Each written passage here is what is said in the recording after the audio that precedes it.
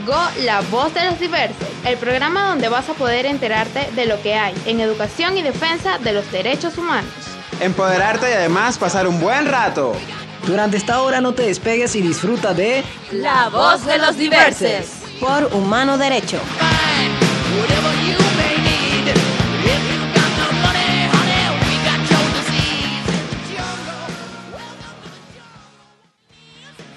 Bienvenidos todos a otra edición de Voz de Diversos, transmitido por Humano Derecho. Hoy en los controles, como siempre, nuestra querida Priscila, Priscila.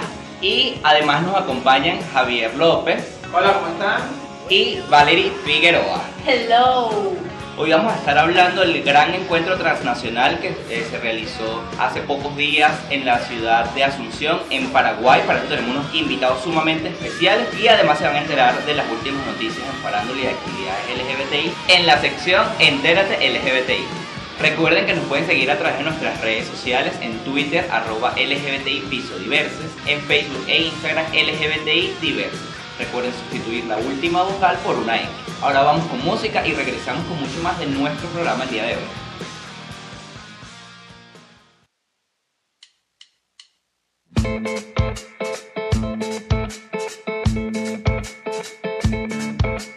De donde vengo no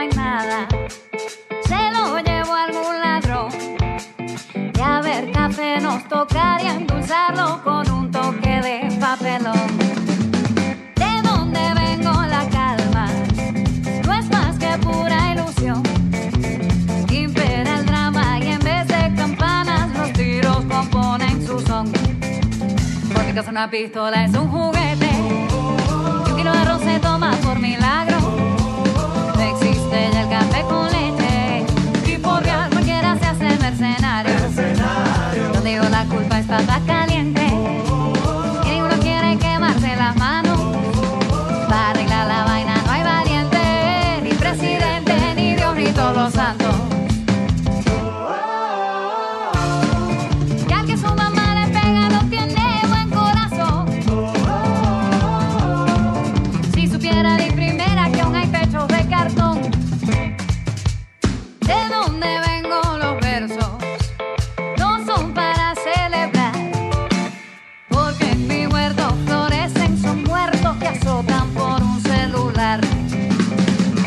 pistola es un juguete.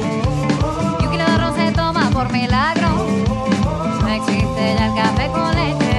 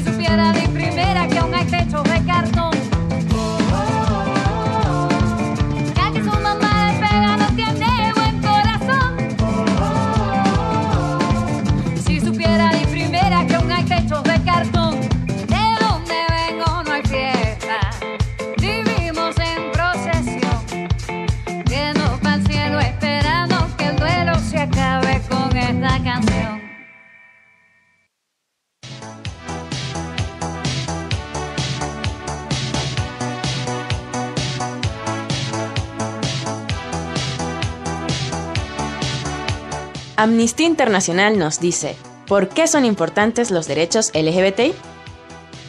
Si acogemos a la población LGBTI y entendemos sus identidades, podremos aprender a eliminar muchas de las limitaciones que imponen los estereotipos de género.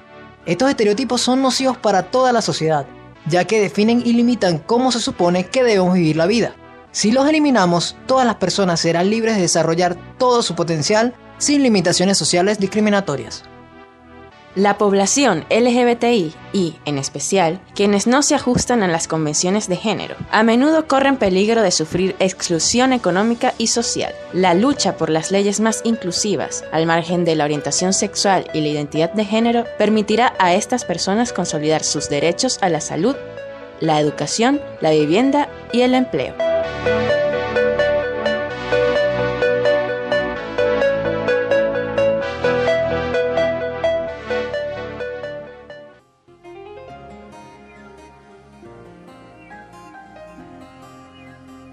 Y acabamos de escuchar de donde vengo de la pagana Trinidad, música venezolana y con un sabor tropical caribeño.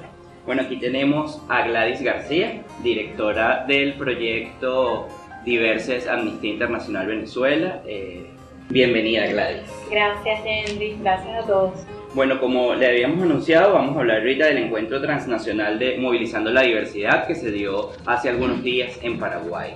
Eh, cuéntanos, ¿cuál era el objetivo de este encuentro que se realizó en Paraguay, que tuvo la asistencia de más de, de 20 activistas LGBTIQ de Paraguay, Puerto Rico, Chile, Venezuela? Y cabe destacar que en Paraguay hubo representación de Encarnación, Asunción, Oviedo, Pedro Juan Caballero y Ciudad del Este.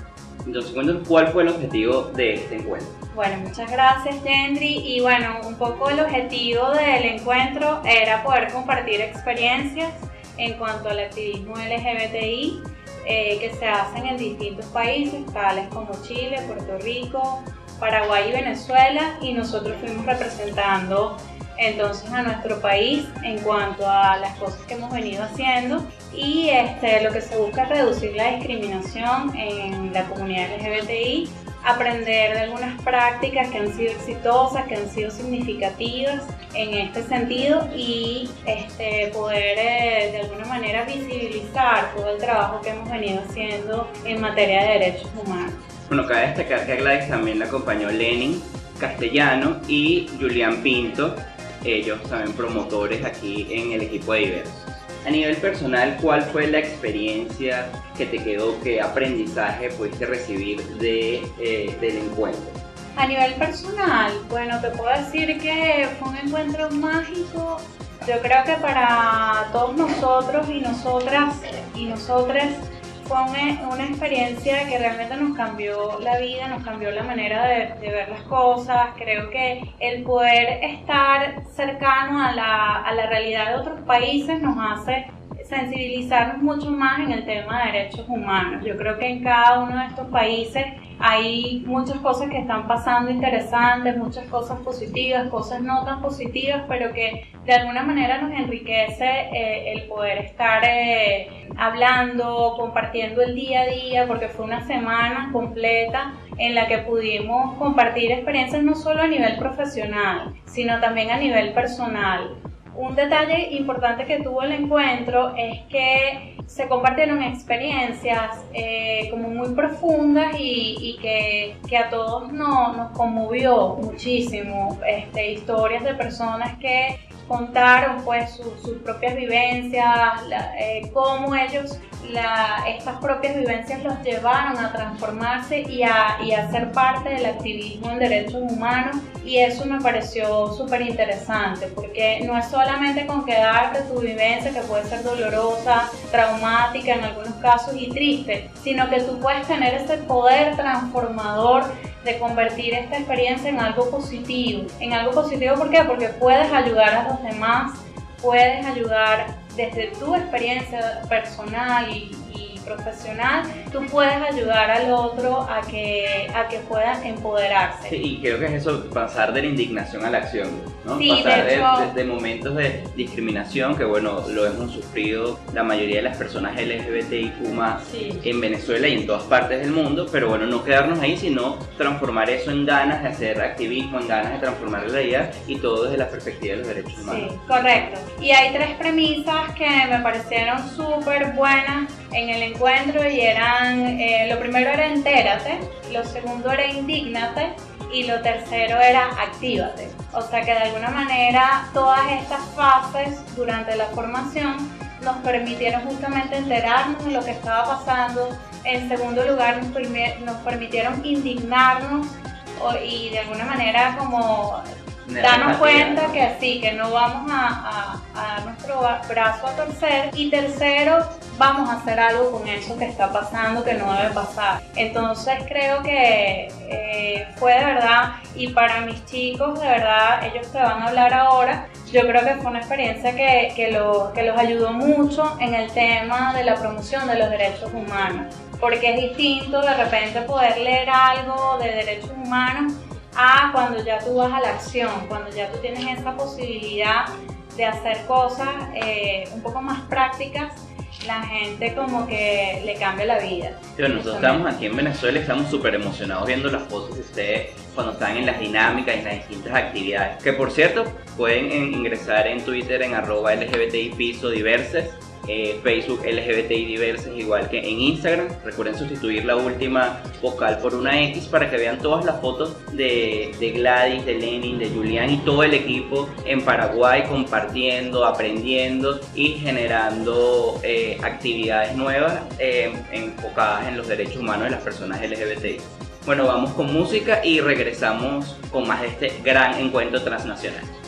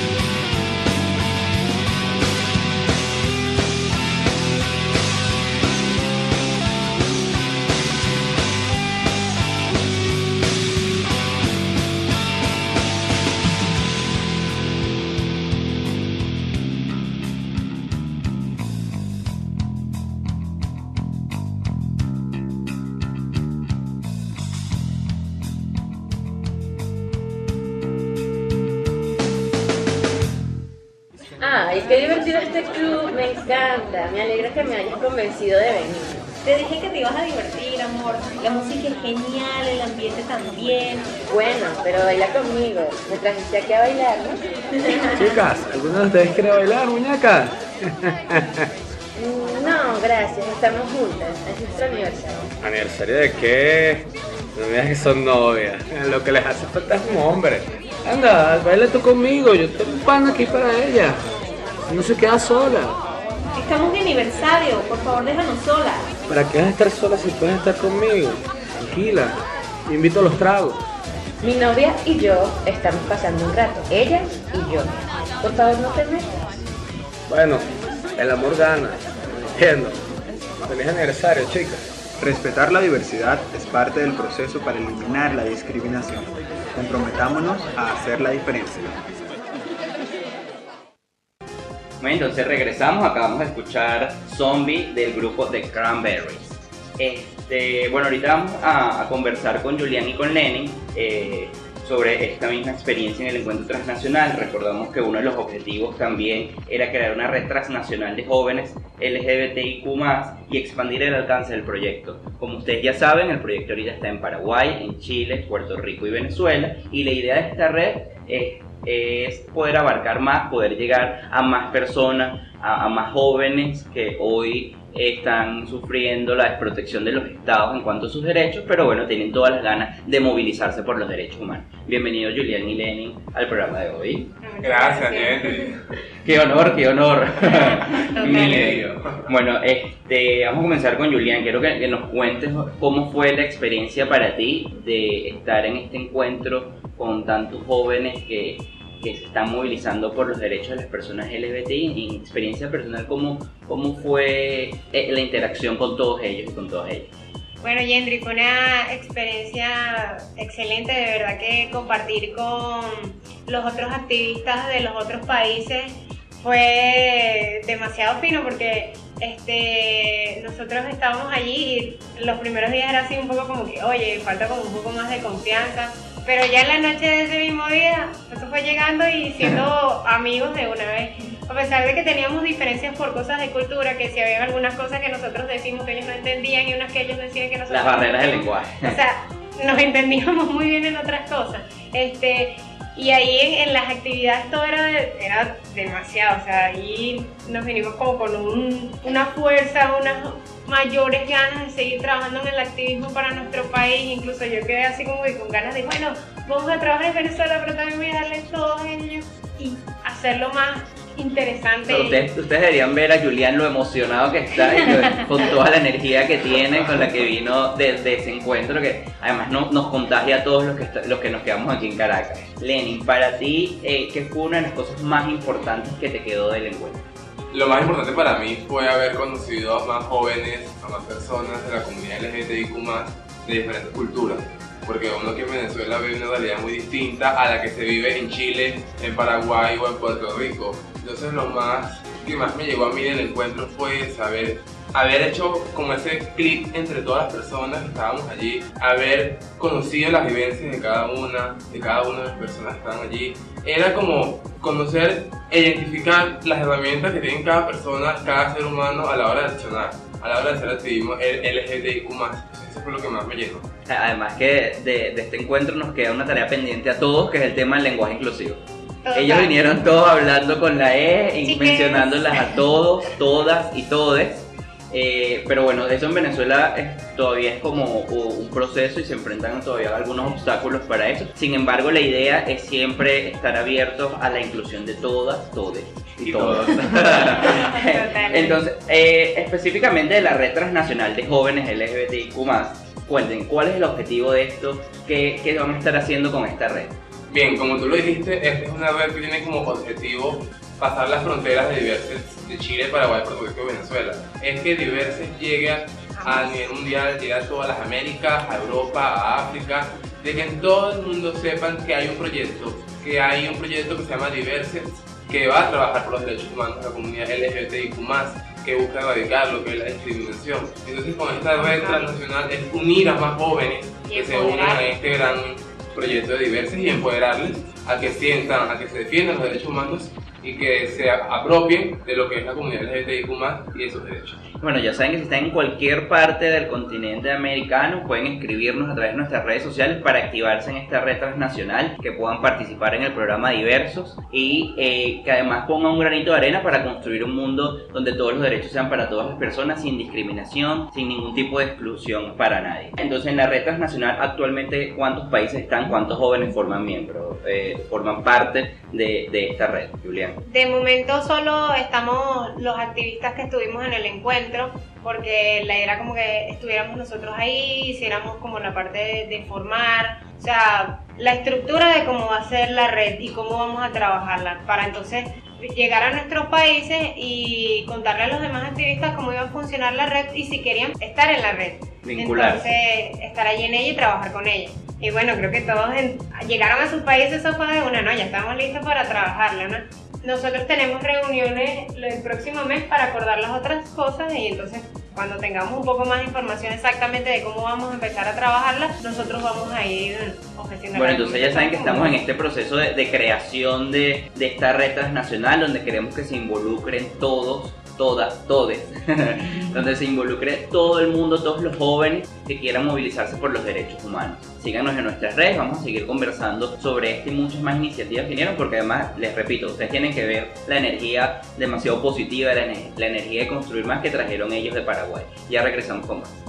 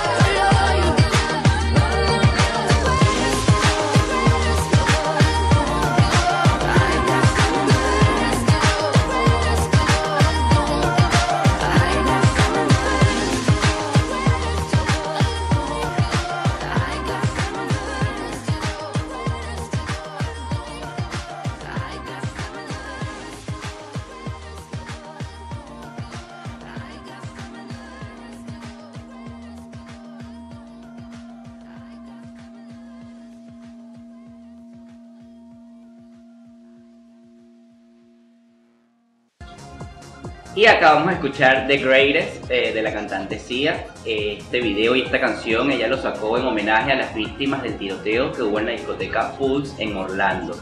Una discoteca de ambiente, una discoteca, un espacio donde supuestamente era seguro para las personas de la diversidad sexual. Y bueno, un joven eh, fundamentalista fue y este, cometió este, esta masacre allí donde varios jóvenes murieron en el acto.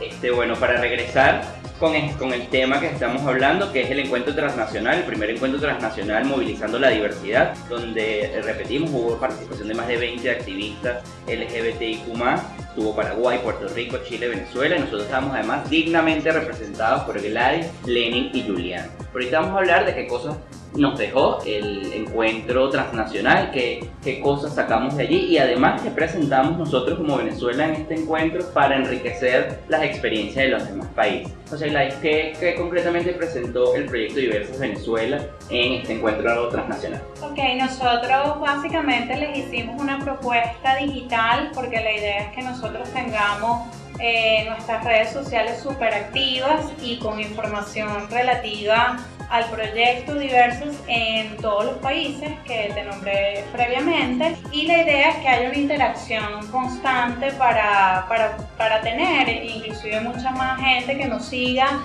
y personas que puedan aliarse al proyecto. Y además que se vinculen también ¿no? con el tema de la defensa de los derechos humanos de todas las personas, que en los comentarios de Gladys, Julián y Lenin sobre esta plataforma digital que va a ser una cosa asombrosa como nunca la han visto y todos van a poder interactuar, van a poder postear información, ver información nueva y cosas que vamos a estar produciendo desde aquí de Iber. Y hecha por y para los jóvenes que es, lo, más, importante. porque este proyecto es por y para los jóvenes. Yo quisiera aprovechar, Gendry, y darle las gracias de verdad, de todo corazón, a Milén Aulet, coordinadora regional de proyectos diversos, a Fabián Gamarra, coordinador del encuentro en Paraguay. Son tantas personas, Lorna de Chile, Yasdil de Puerto Rico, que son las coordinadoras de estos proyectos que llevamos allá. Realmente fue súper interesante el, que, el poder tener el contacto con ella y además conocerlas en persona, Gendry, porque nosotros nos reunimos generalmente vía web. Y entonces, claro, tú te imaginas a la persona de una manera y ya es, de otra y, y, es, y es chévere, es súper, súper bien. De verdad, muchísimas gracias a ellas, a todos ellos y quisiera también comentarte que llevamos nuestra radio web llevamos justamente este programa. Este programa y llevamos nuestra revista Diversas, que es una revista digital que prontamente saldrá este, por las redes sociales y que ustedes tendrán la posibilidad de disfrutarla. Sí, bueno, aparte de eso también eh, Gladys, el equipo que nos fue a representar, mostrarnos los nuevos videos, y todas las nuevas campañas que vamos a estar lanzando por las redes, así que tienen que estar sumamente atentos y atentas a las cosas que vamos a estar publicando en las redes sociales para que se enteren, para que se involucren, porque lo más importante es que cada uno de ustedes se puede involucrar en la defensa de sus derechos. Lenin y Julián cuenten. Eh, aparte de esta red que se conformó y que se va a estar estructurando en estos eh, próximos meses y próximos días, ¿qué cosas hicieron concretamente en él? ¿Qué aprendieron? ¿Qué dinámica? ¿Qué, qué temas abordaron en este encuentro? Bueno, yo quería hablar de un específico, un trabajo, una dinámica que realizamos, que Juliana, que es la consultora del proyecto en Chile, o sea, ella la realizó y nos colocó como a que empezáramos a formarla. Era como un árbol de estrategias, algo así, no recuerdo exactamente cuál es el nombre, pero teníamos que llevar como unas problemáticas y hacer un árbol, un dibujo de un árbol con, con estas problemáticas. Entonces, me, a mi grupo que estaban las activistas de Paraguay, Kimberly, estaba eh, Yajaira, que también son de colectivos trans de allá, este, estaba Inke, que es una representante de de Amnistía de las Américas, que me tocó trabajar con ellos. Fue un poco, de hecho, muy interesante trabajar con ellos porque ellos tenían, cada quien tiene su visión de su país. Entonces, como que los tratamos de llevarlos todos a un solo trabajo y era emocionante que este, hiciéramos esta clase de cosas, pero fue para, para pues, mí. Además que es la construcción de propuestas con la experiencia de todo, de la realidad incluso de las personas trans que hay veces que estando en el mismo país no todas las personas, los hombres, las mujeres trans o las personas trans no binarias no tienen las mismas experiencias. Entonces me imagino que sentarte en una mesa, tratar de construir una propuesta con todas estas personas, distintas culturas, distintas realidades, debe haber sido una experiencia increíble, ¿no? Claro, y también otra actividad que tuvimos fue en el comedor, que era una actividad donde cada persona se hablaba con otra y era como unas preguntas específicas, pero muy personales, que nos ayudaba a tener más interacción, a tener más, ser más amigos, amigas en el encuentro, a conocernos más. Entonces, lo parte de lo que fue el encuentro fue conocer, fue conocer otras vivencias y otras experiencias de personas que son como nosotros o como nosotras, que, que vivimos de realidades distintas, pero que al final tenemos un mismo fin, que es la defensa de los derechos humanos. Sí, que además buscar siempre en conjunto y, y re- reforzar los lazos y las redes que tenemos para trabajar en conjunto por eso, por la igualdad de derechos, porque nadie se quede atrás, porque todos tengamos las mismas oportunidades para surgir y que cada quien pueda disfrutar su- sus derechos, el goce de sus derechos plenamente. Entonces, bueno, para cerrar, este, vamos, díganme en una frase muy corta qué les quedó de este gran encuentro de estas 25 personas que estuvieron allí, aparte de agradecer obviamente a todo el equipo de Paraguay, a todo el equipo de Puerto Rico y Chile que estuvieron asistiendo y estuvieron apoyando en todo momento a los demás activistas. Una frase muy corta que resuma el aprendizaje y lo que les quedó a cada uno de ustedes de este gran y maravilloso encuentro. Para mí, transformador. Y quiero decirles que los extrañamos demasiado. Queremos volver. Para mí fue motivador e inspirador, porque de verdad escuchar cada vivencia de cada persona mm, me llenó y me inspiró a seguir adelante en este camino. Gracias a todos. Bueno, para mí fue como una experiencia para empoderarme, me dio como más fuerza y más confianza en mí mismo, en las cosas que puedo hacer y compartir con estas personas para mí fue excelente y me dejó súper motivada en hacer las cosas por ellos y para nosotros y para todos. Entonces estamos también muy extrañándolos a todos porque dejaron una marca muy grande en nosotros. Bueno, entonces agradecemos eh, a ustedes por haber venido el día de hoy, acompañarnos en nuestro programa, que además este, fue muy alabado en este encuentro y, y qué grato porque la idea es, que todos puedan disfrutar eh, el contenido que estamos produciendo aquí desde Venezuela y que pueda, podamos incidir un poco en la defensa de los derechos humanos de todas las personas en todas partes del mundo y bueno, eh, específicamente también en las personas de la diversidad sexual. Entonces bueno, eh, vamos a escuchar música y regresamos en unos minutos con muchísimo más del programa Voz de Diversas.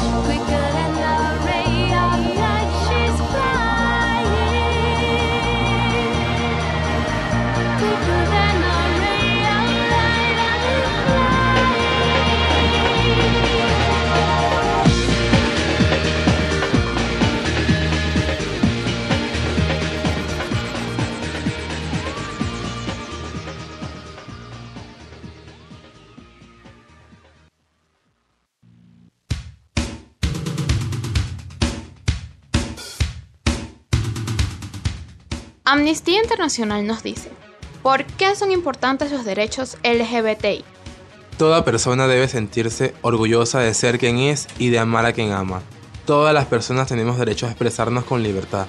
El artículo 19 de la Declaración Universal de Derechos Humanos, que consagró por primera vez los derechos de todas las personas, protege el derecho de toda persona a expresarse con libertad.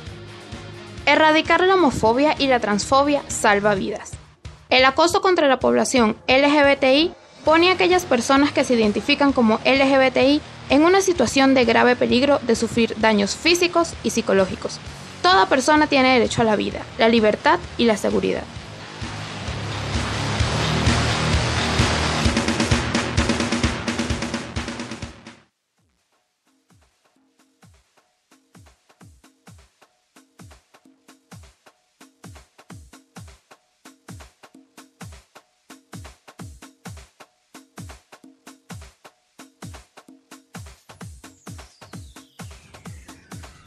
Estamos de regreso con más de Voces Diversas transmitidos por Humano Derecho. Acabamos de escuchar Ray of Flag de Madonna, eh, que es el séptimo álbum eh, de Madonna publicado el 3 de marzo de 1998. Me encanta ese álbum, no te imaginas cuánto. Todavía no te presentaron Silencio. Pero voy a hablar porque yo sí salía.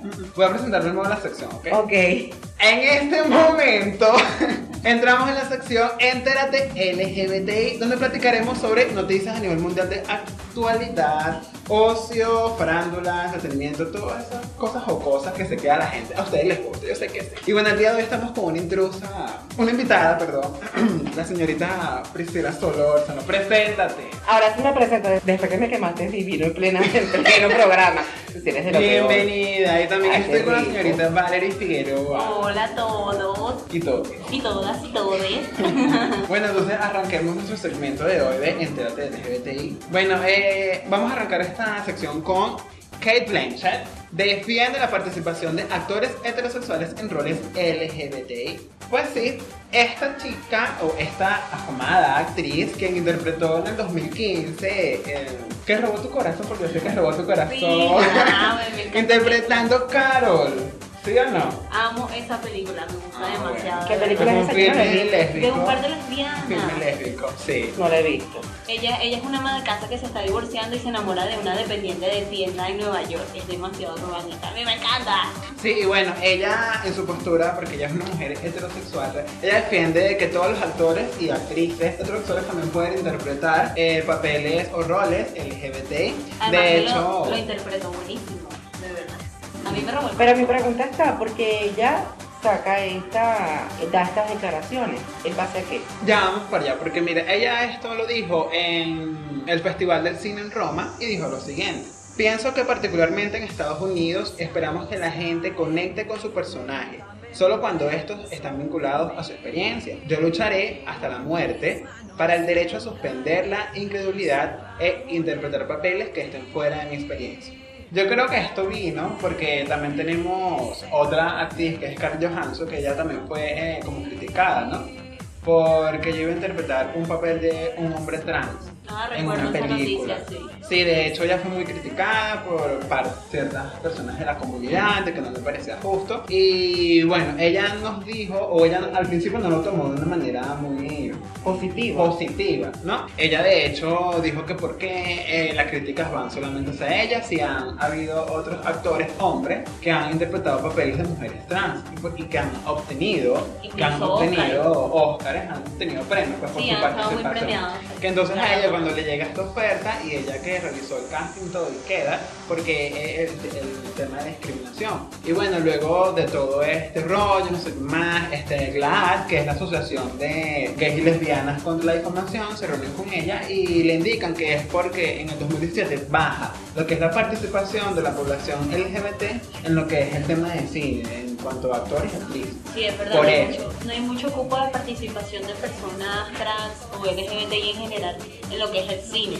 Entonces, estos papeles los están interpretando por lo general eh, actores heterosexuales o cisgénero. O sea, en este caso, eh, esta gente se pronunció es porque se le está restando la posibilidad a aquellas personas LGBTI a poder tener acceso a actuar y de alguna u otra manera tener un empleo.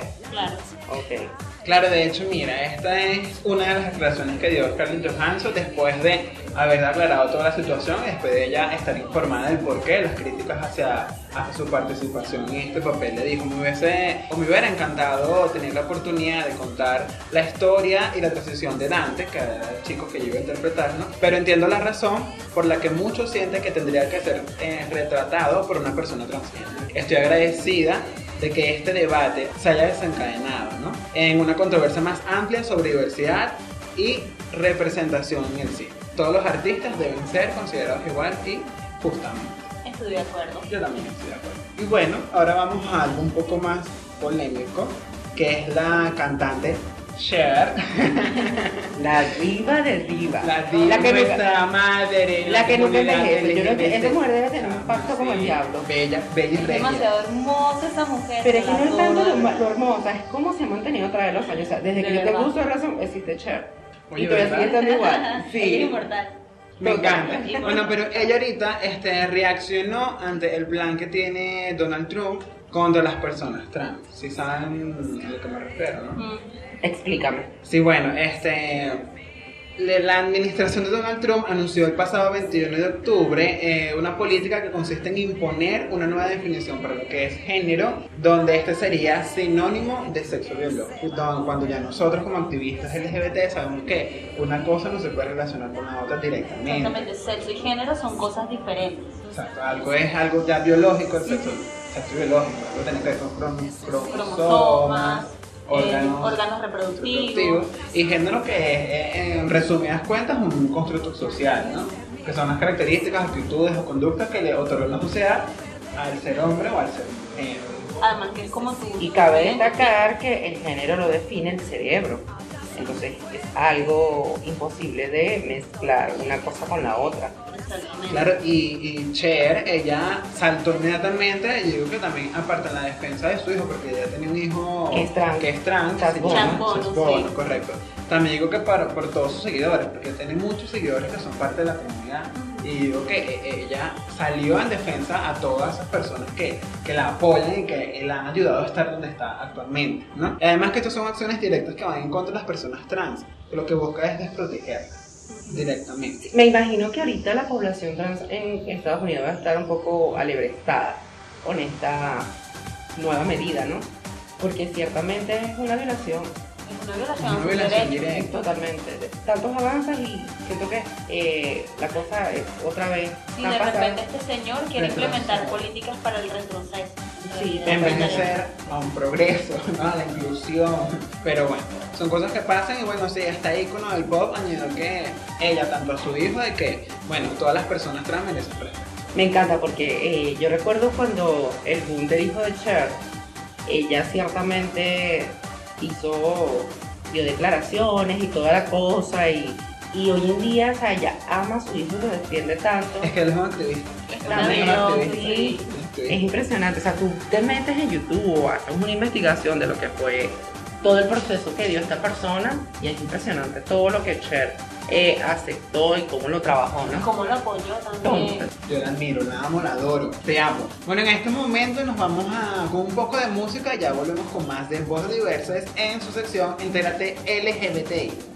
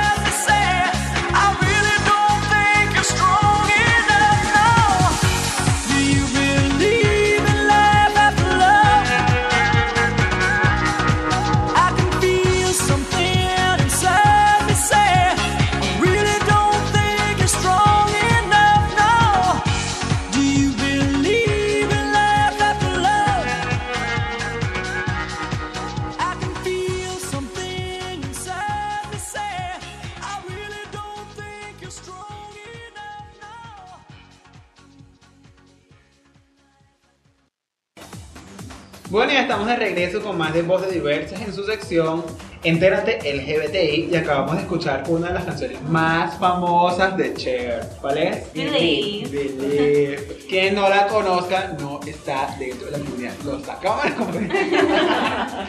Sí, demasiado famosa realmente, una canción famosísima. Bueno, entonces continuamos con las noticias, chiques.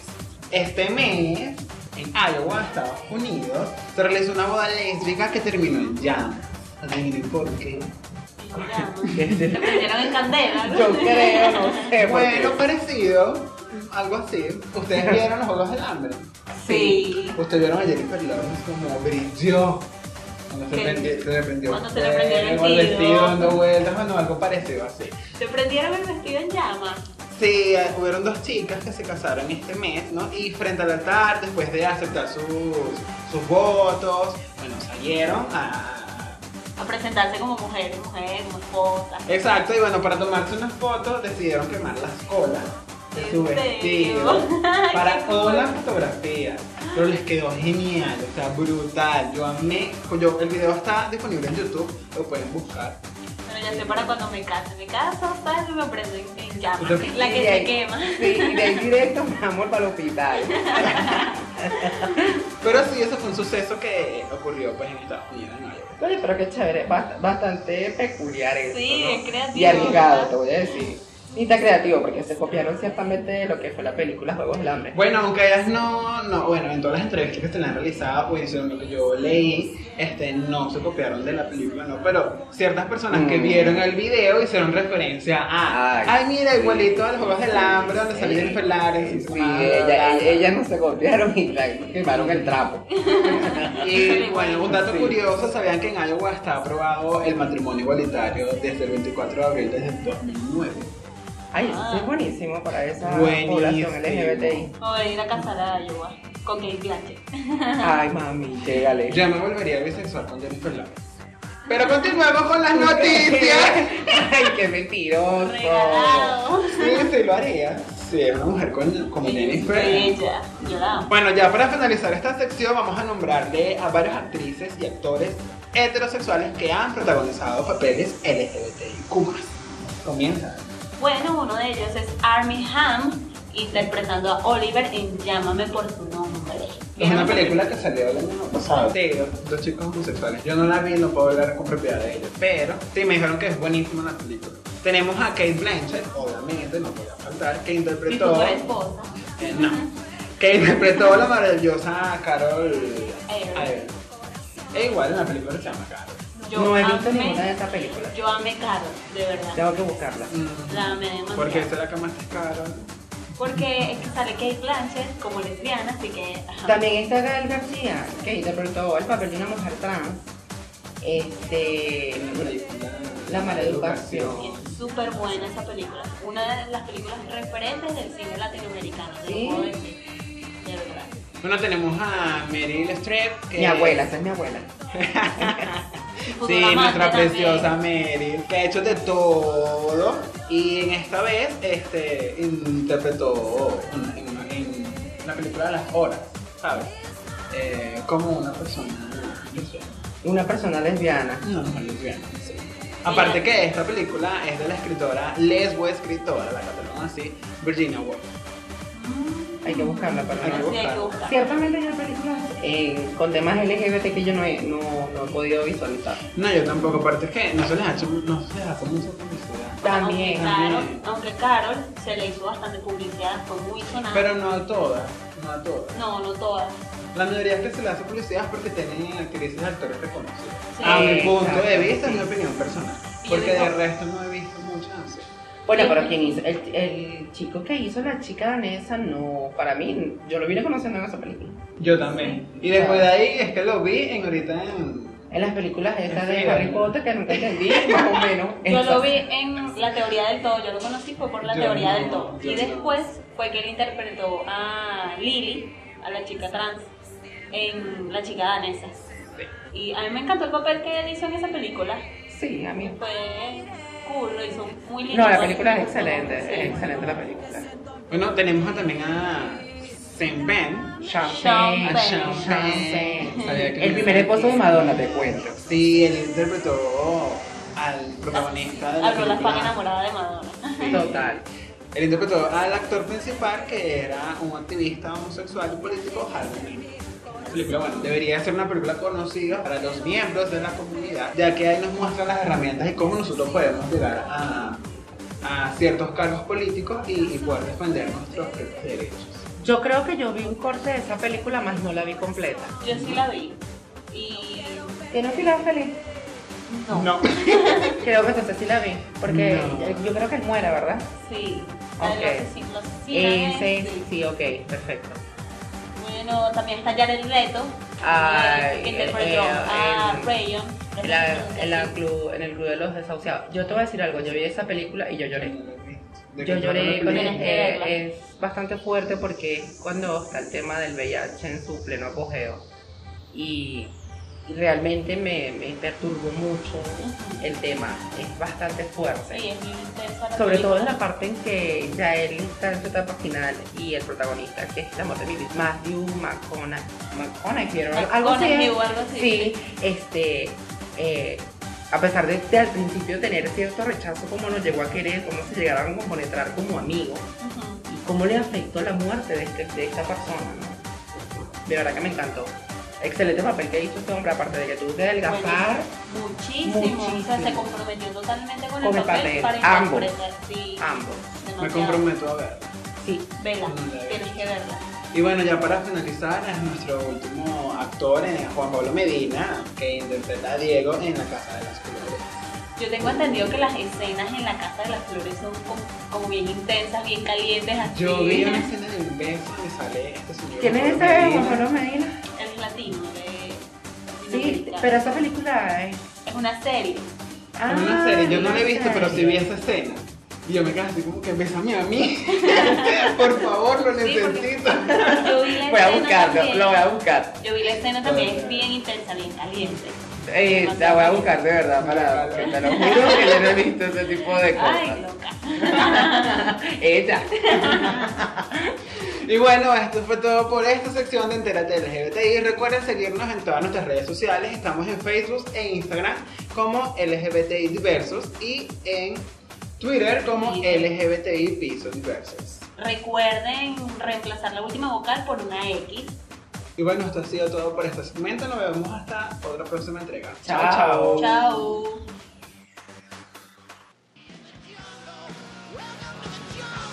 Esto fue todo por el día de hoy en otra edición de La Voz de Diverses. Recuerden que llegamos a ustedes por Humano Derecho. Gracias a nuestra Priscila, que por cierto se debe estar poniendo crema en la quemada de hoy, en los controles. Sabroso, medio chico. Sí, entonces gracias a Javier y a Valerie también por acompañarnos el día de hoy. Nada, chicos. Bueno, entonces recuerden que nos pueden seguir a través de las redes sociales, a- arroba LGBTI Piso Diverses, en Twitter, arroba LGBTI Diverses, en Facebook e Instagram. Recuerden sustituir la última vocal por una E, que así se enteren de todo lo que estamos haciendo en el programa Diversos, Venezuela, Paraguay Chile. y Puerto Rico. Bueno, nos escuchamos en una próxima edición. Chao, chao. Chao. Chao.